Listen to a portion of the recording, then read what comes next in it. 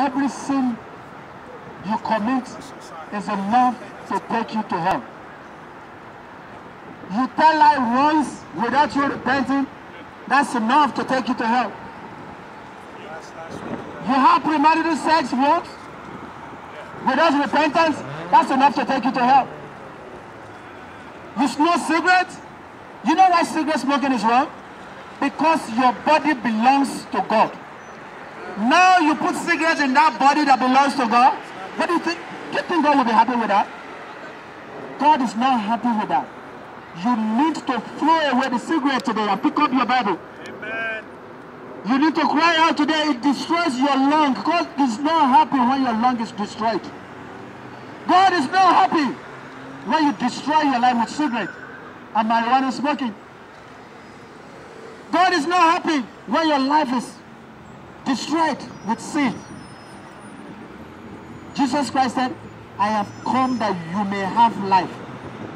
Sometimes ago when I was reading that passage of the Bible, that you may have life, I was asking myself, don't we have life? But God spoke to me, yes, you don't have life because you're a sinner. Jesus Christ said, the, the word that I speak to you, they are spirit and they are life.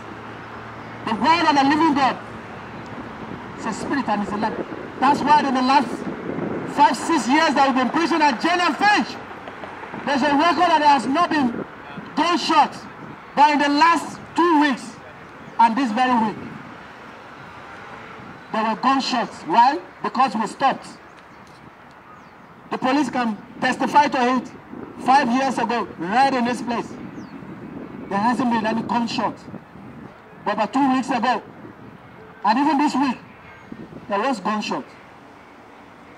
But there were gunshots. But we are back. if you don't want God, then you want the devil. The devil will put guns in your hands if you don't want God. The devil will use you and destroy your life if you resist God. But you might be laughing at us. You might be saying, you know what, these guys are crazy. You know what? I, I know I am crazy. But I am crazy for the Lord Jesus Christ. I know you're crazy for something. So what are you crazy for? You crazy for sex? Is that what you're crazy for? Are you crazy for marijuana smoking? Are you crazy for porn watching? What are you crazy for? I am crazy for the Lord Jesus Christ. We are all crazy for, for him. But ask yourself, what are you crazy for? What do you say? You're crazy for, Triple for your girlfriend? Okay. I pity you folks. Because your girlfriend will not be able to speak to you, for you on that day. Your boyfriend will not be able to speak for you. You will stand all alone and be judged of the Lord Jesus Christ. God, the Bible says, has set a day in which he will judge the whole world in righteousness. And he has ordained a man through which he will judge the world and has given assurance by raising up from the dead. This same Jesus, the author of life, is calling you today. Repent of your sins. Come unto the Lord Jesus Christ. There is no gain in sin, folks. If God, in His majesty, can come all the way from heaven because of sin, that should tell you how terrible sin is. The Bible says the wages of sin is death. But the gift of God is eternal life. The gift of God is eternal life. The only thing you do you get for being a sinner is to die and go to hell. But you get everything for accepting the Lord Jesus Christ. You get eternal life.